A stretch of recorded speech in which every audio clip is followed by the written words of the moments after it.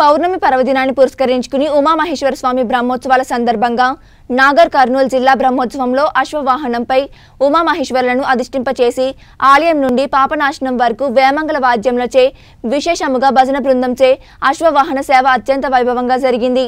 ఈ కార్యక్రమంలో ఆలయ కమిటీ చైర్మన్ కందూరి సుధాకర్ కార్యనిర్వహణాధికారి ఆర్ శ్రీనివాసులు అర్చకులు ఆలయ సిబ్బంది భక్తులు పాల్గొన్నారు.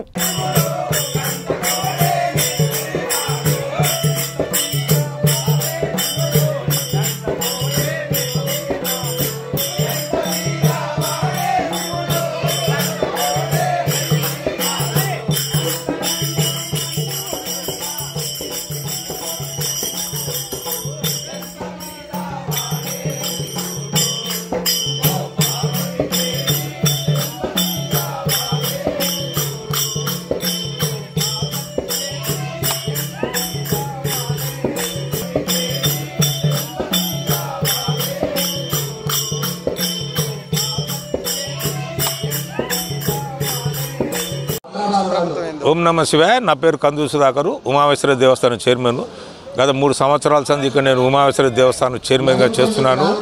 మూడు సంవత్సరాల సంది ఉమామేశ్వర కళ్యాణము పదిహేను రాత్రి ఇక్కడ అత్యంత వైభవంగా జరుగుతుంది. గత అంతకుముందు భక్తులు లేకున్నారు. ఇప్పుడు ఈ భక్తులు రోజు వెయ్యి మంది భక్తులు వస్తున్నారు. శ్రీశైలం పేటోళ్ళు ఇక్కడ వస్తున్నారు.